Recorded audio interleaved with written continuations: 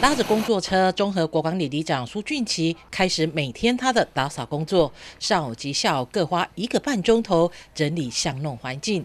因为上任后发现环保的工作光是靠清洁队或是志工是不够的，必须持之以恒进行，所以决定亲自来整理。每天这样做将近四年了，渐渐展现成果。哎，我就任以来哈，觉得说里内的环境不是很干净。就是有纸屑啊，有狗大便啊，有瓶瓶罐罐啊，那些黄种叶的小广告很多，造成这个生活上很脏乱。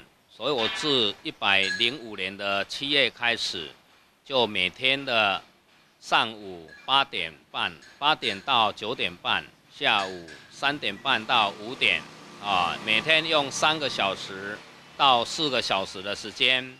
打扫我国光里整个里，把它打扫的非常的干净。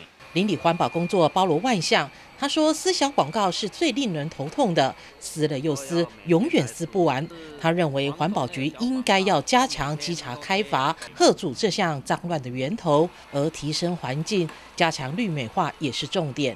因为里内没有公园，修剪植栽，希望能够将绿化带入社区，以身作则，李明看在眼里，感觉就刚心美。他有时候大太阳，不管很冷，下雨天，有时候毛毛雨。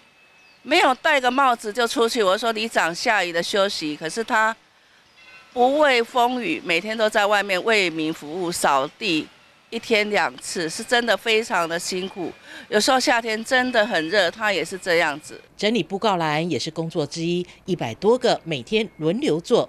不希望成为脏乱的死角，每天做积少成多，由小角落到整个社区，也希望能够借此影响更多人一起重视居家的环境品质。记者卢秀娟新北仓报道。